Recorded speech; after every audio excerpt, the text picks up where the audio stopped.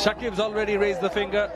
Richard Illingworth অবশেষে পাঁচশো একত্রিশ রানে প্রথম ইনিংসে অল আউট হয় শ্রীলঙ্কা। তবে শেষ উইকেটে লঙ্কানদের কাছে ঘটে এক অপ্রত্যাশিত ঘটনা। তাইজুল ইসলামের এক ওভারে পরপর দুই ছক্কা মারার পর শেষ বলে সিঙ্গেল নিতে চেয়েছিল কামিন্ডু মেন্ডিস। কিন্তু চালাক তাইজুল নিজের বলে নিজে ফিল্ডিং করে রান আউটের ফাঁদে ফেলেন আসিতা ফার্নান্দোকে। এমত অবস্থায় যখন ফার্নান্দো রিভিউ দেখার জন্য দাঁড়িয়েছিল তখন সাকিব আল হাসান নিশ্চিত আউট ঘোষণা দেন। অপর পাশ থেকে মেহেদি হাসান মিরাজ।